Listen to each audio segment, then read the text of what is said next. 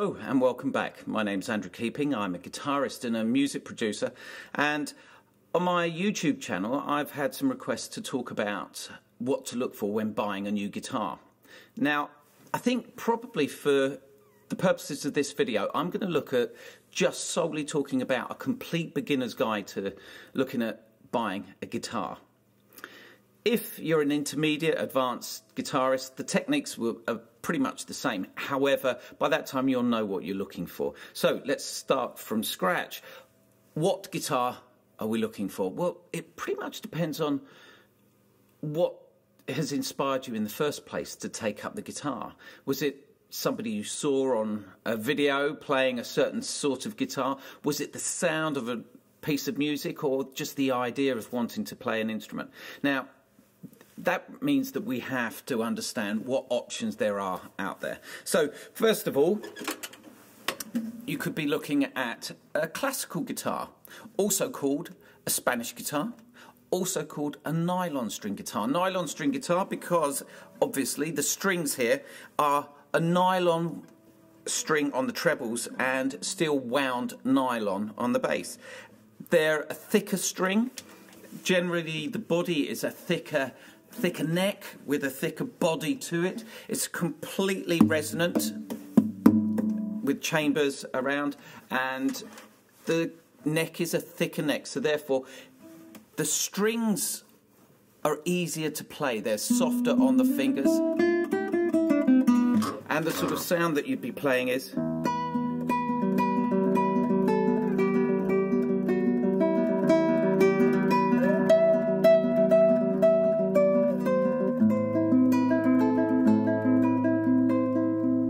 That isn't to say that you couldn't play any style of music on it so you could play a blues.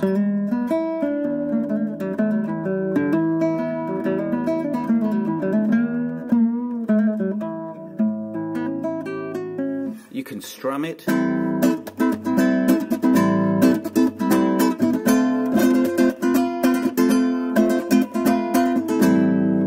That's the nylon string guitar. Uh, the advantages of the nylon string guitar are that if you're a complete beginner, it fits comfortably under the hand. The neck, the fingers, the technique, everything about it means that the, it's not going to hurt your hands so much when you're playing on a nylon string. It gives you space, more freedom to be able to adjust the hand to be able to get a good sound straight away.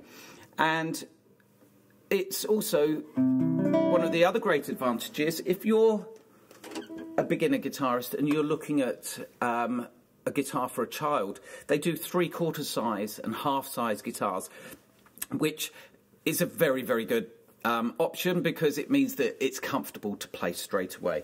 The other alternative would be the steel string guitar, also known as the acoustic guitar, and also known as the electroacoustic guitar. Electroacoustic is simply means that you can plug a quarter inch jack in here and attach it to an amplifier um, and you'd have the microphone set up inside or a saddle pickup underneath here and you can amplify the guitar. Now one of the advantages of the steel string guitar is that by the same token that I said that the neck was thicker on the other one, it's a smaller neck so sometimes it's easier for the fingers to play. Sometimes it's harder.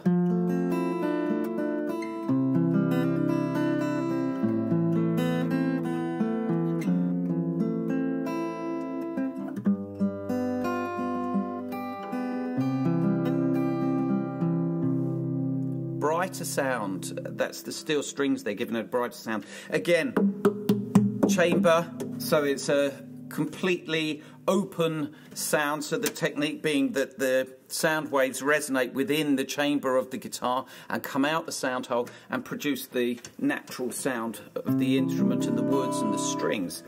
Again, you can use this as a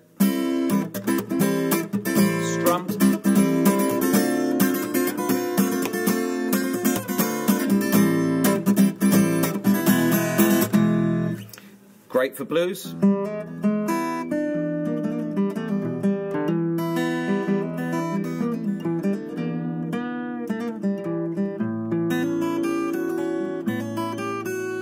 Now, as a guitarist who plays an awful lot, my the tips of my fingers are actually quite hard from the amount of playing that I do. A bit like rock climbers, they harden up the tips of the fingers. And that allows my fingers to bend strings and to play for considerable periods of time. They harden up as you play.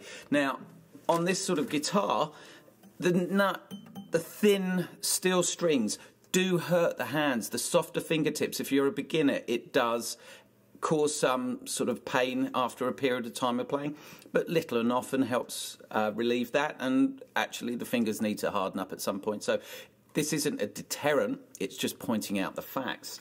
And that's what you want when you're looking at buying a new guitar. It's, it's more about the choice, the sounds that you're looking for.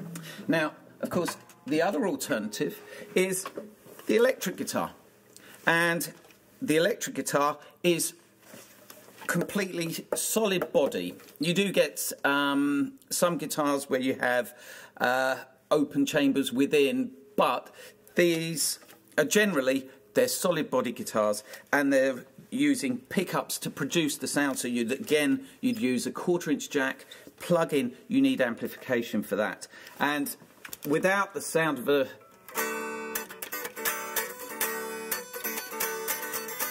you can't play this eh, without amplification, not to get the sound that you're looking for. You see what I mean? Um, however, one of the advantages of the electric guitar is that it's you can find lots of different effects with it using plugins and um, using special effects pedals, a rack of special effects pedals. Every amplifier that you have, you can adjust. But the expense of an electric guitar, the additional expense of the amplifier and all these other pedals, it can escalate quite quickly.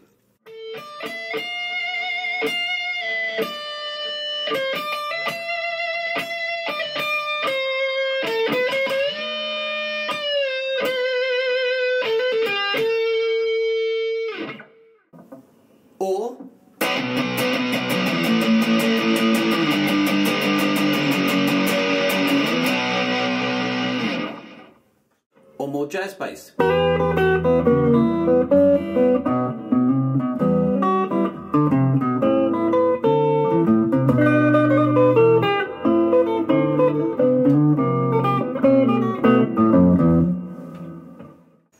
Or funky leads.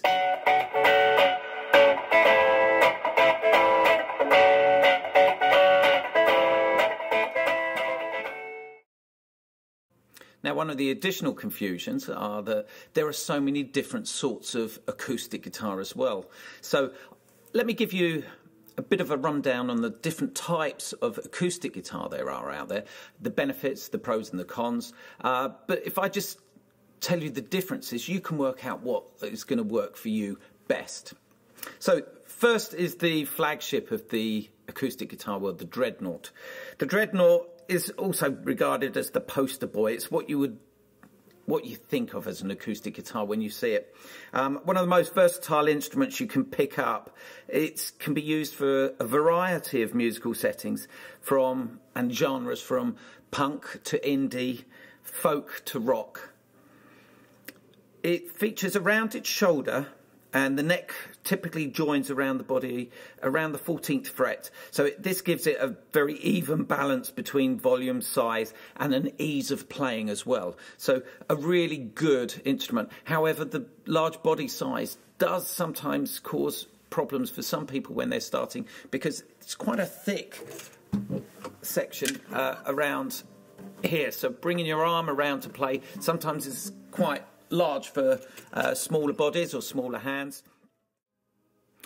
By contrast, we have the parlor guitar. Now, the parlor acoustics are among the smallest in body size you could buy, not counting the modern baby guitars, and are typically favoured by players that want to play a more low key or sort of less, less of a brash, harsh effect, more suitable for the styles of folk or indie playing. The size of this guitar makes for a more comfortable and less physically intrusive style of playing. Um, the other great advantage, of course, is the portability. It's a smaller body guitar, so therefore it's easier to throw in a, a gig bag and throw over your shoulder and just transport around, nice and easy. Uh, some of the famous artists that used these instruments were Ian Anderson and Jethro Tull as well. By contrast, you have the largest of all the acoustic guitars, the Jumbo. This body size is considerably larger, larger, so therefore the larger chamber, that means it has a greater volume as well. So brash, loud ones that want to have fun, they're the sort of guitarists to be playing those. You would have seen the likes of Noel Gallagher and uh, Bob Dylan playing that, and it's sheer volume. It reverberates around the body of the guitar, big, bold sounds, which some people favour. And if you're playing as part of a, a group and you're looking to do that, then that will cut through quite nicely. Now, between the Dreadnought and the parlour guitar, you've got the hourglass figure of the auditorium or grand auditorium guitars. These are halfway house between the two. Not as small as the Parlour, but certainly not as bulky as the Jumbo and the um, Dreadnought guitars. This sits on the knee. The hourglass idea comes from the uh, classical guitar uh, feel and shape, and it sits on the knee. So this lends itself very well to the the style of finger picking. So.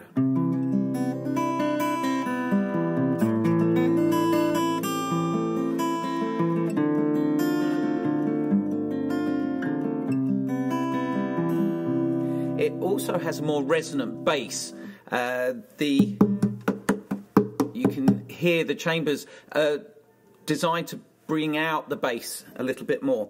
The other advantage is it has a more rounded neck, again similar to the classical guitar. So therefore, that some people find that far more comfortable, even with the thinner thinner neck size. So that's the auditorium guitar. That would be made famous by the likes of Eric Clapton.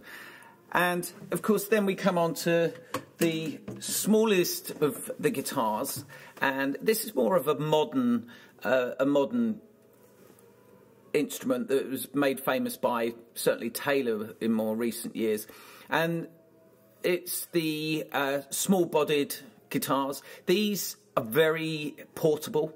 They can just be thrown over your shoulder. They're very comfortable. Again, with amplification now, we can use it as a semi-acoustic guitar, so therefore the problems of the dynamics are no longer there. Uh, very made very famous by Ed Sheeran. Uh, he uses it a lot, and as a result of his playing, many people went on to buy the smaller bodied guitars. Of course, there are manufacturers out there now that constantly update their uh, their styles, and so therefore there's a lot of competition, a lot of copies out there. Now, with all of this in mind, we want to, I've given you lots of choices here. What do you go for? What do you want to do? Make a checklist of what you think your body shape would look better with or feel better with, more comfortable with. If you get the opportunity, go to a shop. Try out lots of different styles because sometimes you might well be surprised that you're going with one idea and you'll come out with a very different idea of what you were looking for. If you haven't got that opportunity, get a clear idea in your head what you're looking for, and then you can order online. Again, there's a lot of competition with prices online, some very, very good deals from manufacturers and free delivery as well. So if you want to go and try them out in a shop, go and try them out in the shop and then come back and find the best deals on those. So there are so many important things to look for when trying out a guitar. The pros and the cons, let's go through those. Playability. It's got to be comfortable for you to play. You want to be able to pick this up and play it for considerable periods of time. Secondly, portability. Are you looking for something that you can just throw over your shoulder or that's easy to carry any distances to a mate's house to play, anything like that? Or is it going to be set up in one place, in which case you could be looking at your electric guitar with an amplifier that you don't have to transport around everywhere. Expense, very important point. When you're beginning to, at the very early stages, you don't want to buy a guitar and then about a month or two down the line, you're thinking, well, no, it wasn't for me, and you want to sell it on, and you paid a lot of money for that.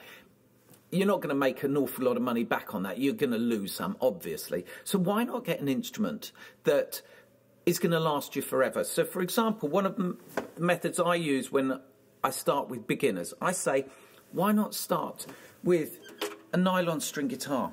Easier on the hand you can always use it. You can add to that. If you find you're getting on really well with an instrument like this, you've developed the technique with your left hand so that it's a very precise technique, you're getting a decent sound, but you want to try and move on to an acoustic guitar, then move on to an acoustic guitar. If you're going to go to an acoustic guitar, you might want to go for an electroacoustic guitar because that way you can play electro, you can plug it in or you can play it acoustically. It will work well either way.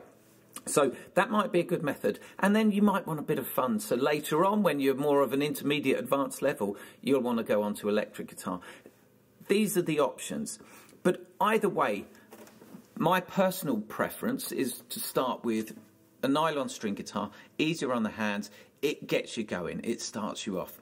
Now, the uh, next important thing is what to look for when you're buying them. Make sure you're getting the right guitar and I'm going to do another video, not to make this too long, I'm going to do another video which gives you the checklist, what to make sure is in place when you get your guitar or before you purchase your guitar. So check out my next video, which is going to be all about what to check for when you've bought your guitar or just about to buy it, making sure you've got the right one.